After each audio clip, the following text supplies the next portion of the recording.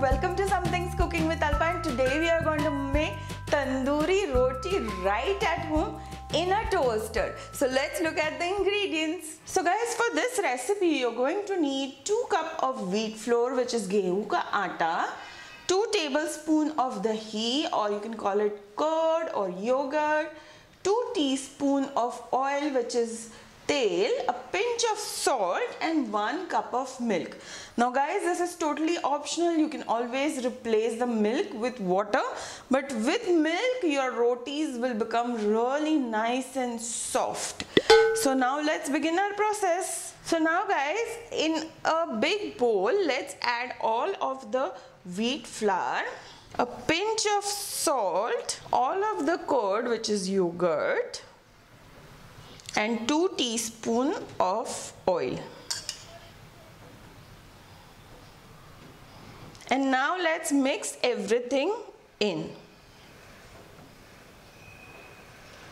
Once all the ingredients are nicely mixed in, you just press the dough and it should form into a fist shape. That means we have the exact quantities, the right quantities and now we will start adding little milk at a time. Just like how you add water while kneading a dough, that is exactly how you will be just replacing water with milk. And guys, you see, nice and soft dough. Guys, I ended up using about 3 4th cup of milk to knead this dough.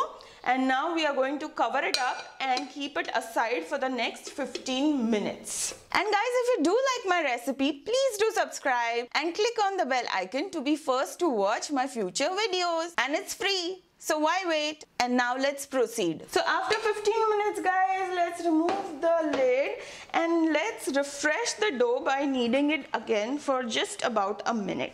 And I wish you guys were here to feel this dough because it is like makhan, like butter, nice and soft and smooth.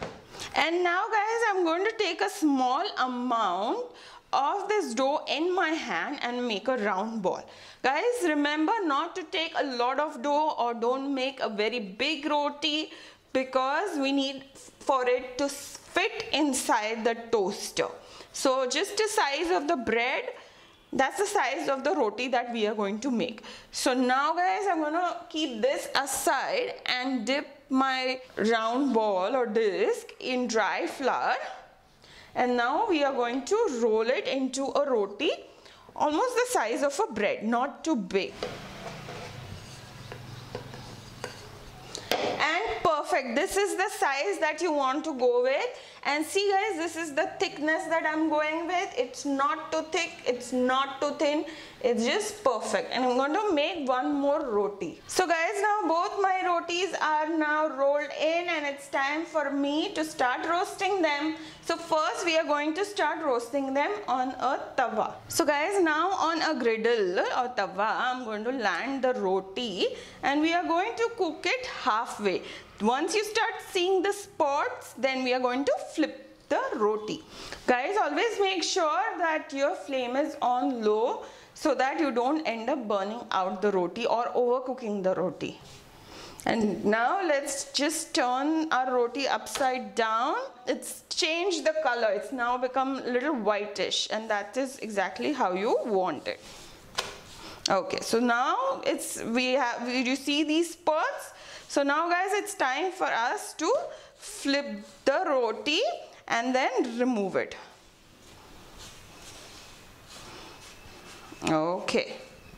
So let's remove it and now let's cook the other roti the same way. So now guys we have both our rotis halfway roasted and now it's time for us to put them in the bread toaster. So guys, now the rotis are ready. So one by one, let's remove them out. Ooh, look at that. It's looking really amazing. Yummy. And now guys, let's apply a little bit of butter and you can always apply ghee if you wish or you can just have it without ghee or butter.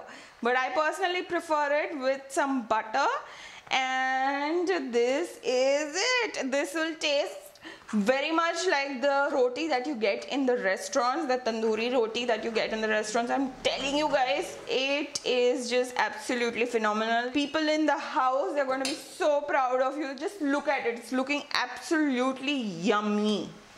Just absolutely yummy. Isn't it? And with saying that i am digging in. It's nice and hot.